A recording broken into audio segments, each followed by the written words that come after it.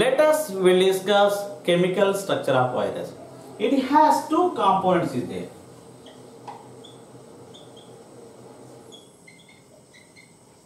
So what is that sir? Very simple.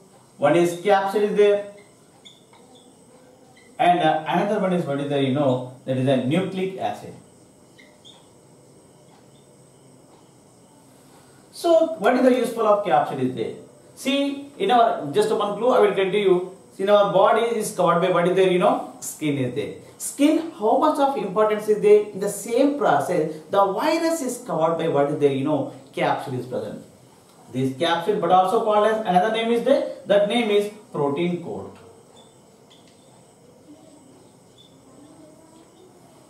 So what is the useful of capsule is there? In that name is the see here.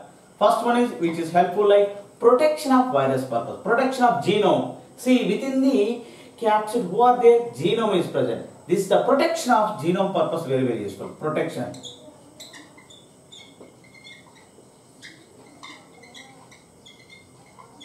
So this protection of genome purpose very very useful and shape of virus purpose also very very useful. The next, it consists several capsomers present in this.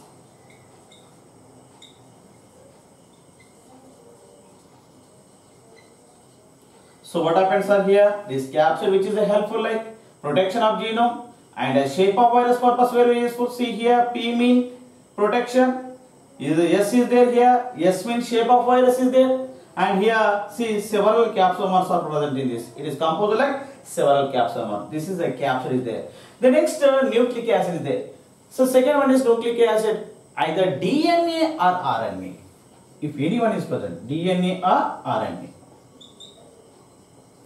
So what happens are here, the virus which infect the plant, be careful, the virus which infect the plant has, so what it is are here, ssRNA is present, ssRNA. So the virus which infect the animals has, animals and as well as the bacteriophage is there, be careful, this bacteriophage, this both of them which is having what is that you know that is a DS DNA is present. DS DNA. It's been double stranded. This is a single stranded DNA is present. Single stranded RNA here double stranded DNA is present. The next what happens are here actually the virus has only for one nucleic acid present. The virus has only for one nucleic acid is present. But especially the HIV having HIV having two identically RNA is present. Two identically RNA.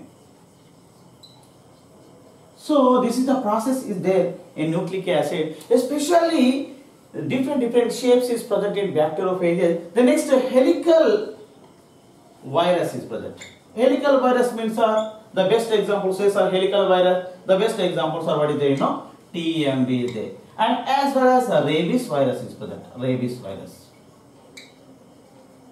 The next what is there here polyhedral virus. Polyhedral virus is there.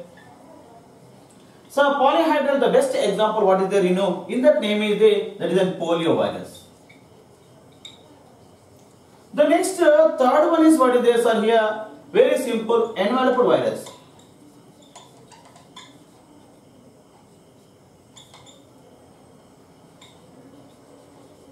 So what is meant by enveloped virus sir? It is a, the best example what is there you know influenza. The next last one is what is there, you know.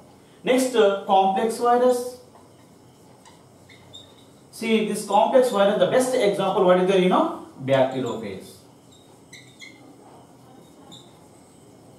Already we have studied like bacteriophage structure. See this bacteriophage structure has two parts in there. One is head is present and another one is tail is present.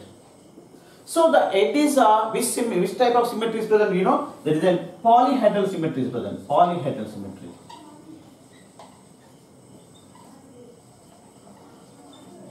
The next uh, tail is present. The tail is helical symmetry. So what happens are here? See, this it has two components. Like one is capsid and another one is nucleic acid. This capsid also called as protein coat. It is protection purpose, shape of virus purpose, and several capsules purpose very very useful. And as well as nucleic acid, either DNA or RNA, like other plant which uh, are See the virus which infect a plant has single stranded RNA and the virus which infect animals and bacteriophages has only for double stranded DNA and HIV having two identical RNA. Liked watching this video, like, comment and subscribe.